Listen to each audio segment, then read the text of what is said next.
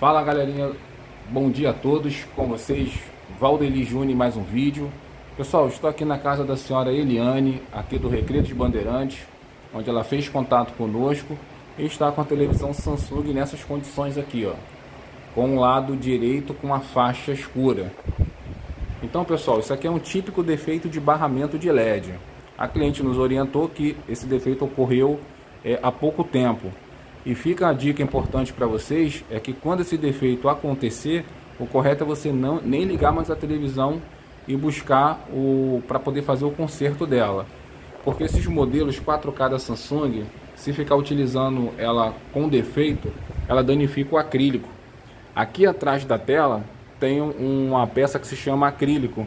Então, se ela danificar, não quer dizer que você vai perder a televisão mas ela, quando ela tiver com essa imagem aqui clarinha, esse azul aqui assim, ela fica com um detalhezinho na parte de baixo. Mas quando está com a imagem na tela, você quase não percebe.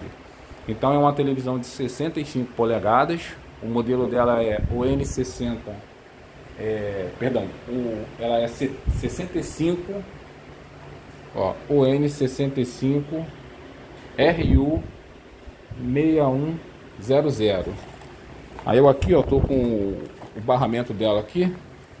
Tanto o RU quanto o NU é o mesmo kit de LED, tá? Ó, estou aqui com o kit. Ó, esse aqui é o kit de LED, são duas barras que ficam posicionadas aqui na parte de baixo. Então nós vamos fazer o reparo e depois a gente vai fazer um vídeo com a TV aberta para vocês poderem ver como é que fica o defeito depois eu faço um vídeo final já com a TV funcionando para mostrar para vocês. Então vocês estão gostando dos vídeos, já clica, compartilha, se inscrevam no canal. Dúvida deixa nos comentários. Vocês que são do Rio de Janeiro, São Paulo, Minas e Espírito Santo, que quiser que a gente conserte sua TV, vou deixar meu zap na descrição do vídeo. Você faz contato conosco e nós vamos até a sua residência e consertamos na hora para você.